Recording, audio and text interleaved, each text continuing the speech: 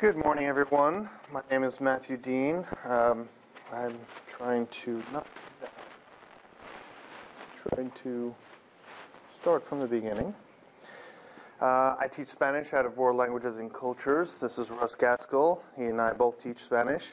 Last year, uh, we decided to take the plunge and try to teach Spanish language online. A lot of people thought we were crazy, but as you can see, we, we try to experiment and learn lots of new things all the time. Uh, last unConference, we did a presentation called Finals on the Fly, and this is going to be part two. One of the things that we like to do is to incorporate um, Skype in our course. Most of the time, our course is asynchronous, but at the end of the semester and sometimes throughout the semester, we get together with the students via Skype. And uh, you'll see that's what this map is at the end of this short video. We did this right before our last presentation. Um, at the end of the semester, we found ourselves in different parts of the country. Carlos was in Maine, I was in San Diego. We had students in other places besides Arcata in Arizona. And um, last time, uh, what we did was we showed you some of the student work and the interviews. The last part of our final was a kind of open-ended, what did you think about our class? And so we're going to see two short videos. One is a student talking about the class, and the other is a, ver- a kind of a personal experience uh, in our class. So we're going to hear from Derek. No, this is, it's pretty much, I pretty much learned the whole course all over again, pretty much this semester, or this summer. Cause I forgot it, and you know, I'm just trying to pick back up to where, I remember some of the verbs and the conjugations, but for the most part, this is, cause it's on a whole different level as far as learning and how, how fast we went, you know, so. What did you think of the pace? Yeah. How, I think the the rhythm, how I think fast, sorry.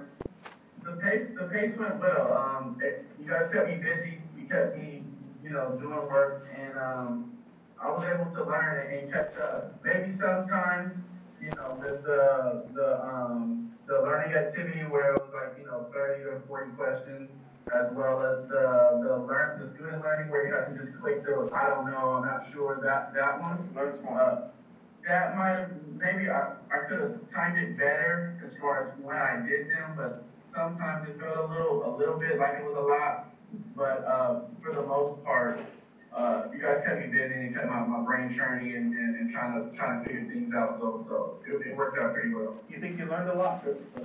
Yeah. Yeah, yeah, as far as conversation wise, um, I, I, I learned a lot. Um, It's an online course, conversation-wise, right? Who is he Yeah, conversing with? To interact with people, I think that's, that's the, that's a big thing.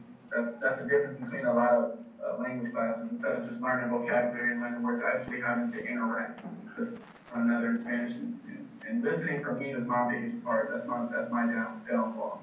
Listening and being, being able to understand and translate it in my head and then, you know, speak back in Spanish. So one of our biggest challenges is the fact that we don't see these students three or four times a week. We, we don't usually see them uh, at all until the, one of these kinds of activities.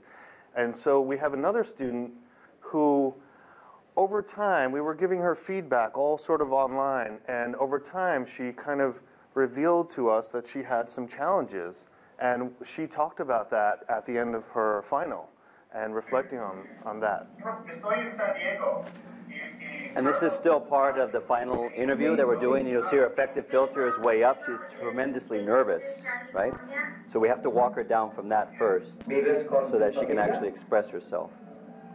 Sí, mi familia, familia es de Quito. Well, And the I concept. hope you don't mind, but my Hola, son Nico. came to stand on the bed with me. This is Nico. Um, hi.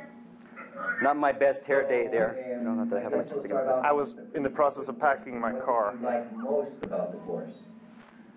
I like that you guys are very helpful with me, that you, um, told me what I needed to work with, and that you worked with my disability, that you helped me out with that, because my disability, my, I have dyscalculia, and a lot, I had a, a language professor in my, my previous university, they didn't work with it,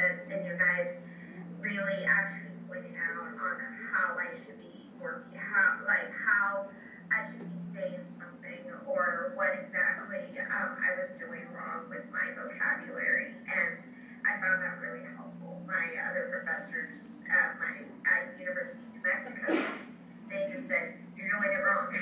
and you guys actually told me what I was doing wrong and how I could improve myself.